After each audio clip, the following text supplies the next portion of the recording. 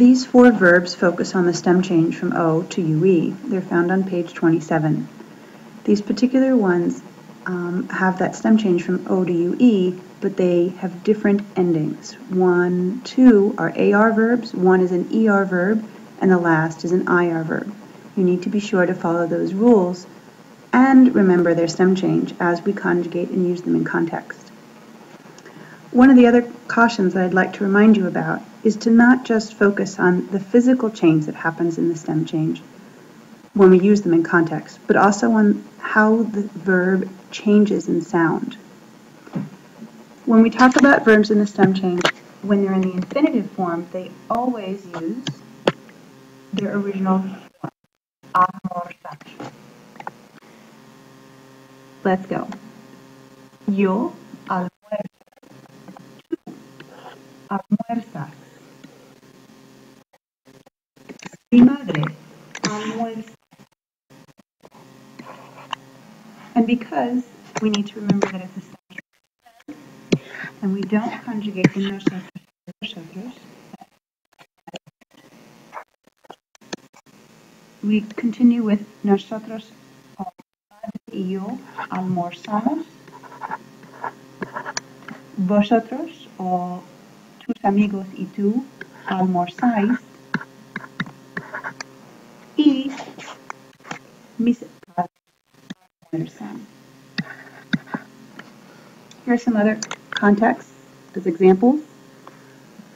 Cuando, almuerza, uh, ¿Cuándo almuerzas tú con los amigos? O ¿Dónde almuerzan tus padres? And then here's one for you to do. I'll give you a moment to think. ¿A qué hora tus amigos y tú?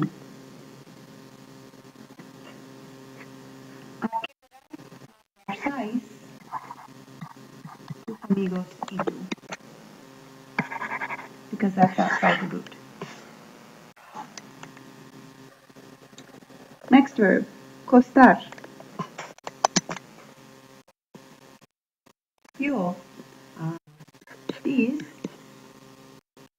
don't exist because usually people don't sell unless you sell them.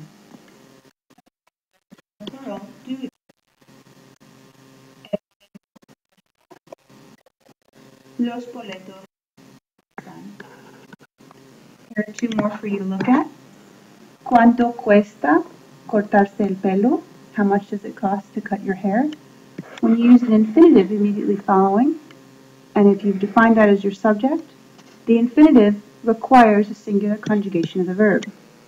Here's another example. ¿Cuánto cuesta entrar en el cine? The subject of the sentence is entrar en el cine, and therefore the conjugation must be singular. Here's one for you to do. ¿Cuánto mm, asistir a la escuela de Brookstone. ¿Cuánto? Once again, we have an infinitive form, and that controls the singular formation of the verb. And our final, or second to last, is the verb everybody loves, dormir. Yo duermo.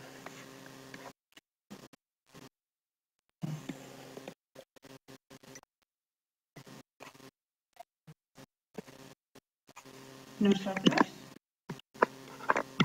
dormimos. Vosotros. Y mis padres duermen.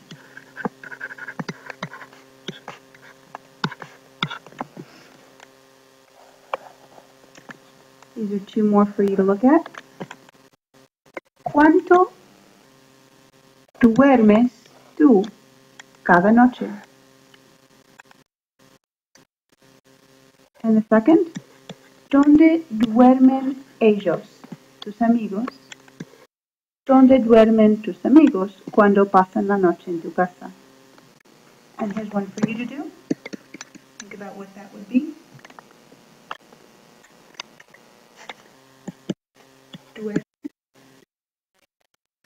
Do your dogs sleep with you?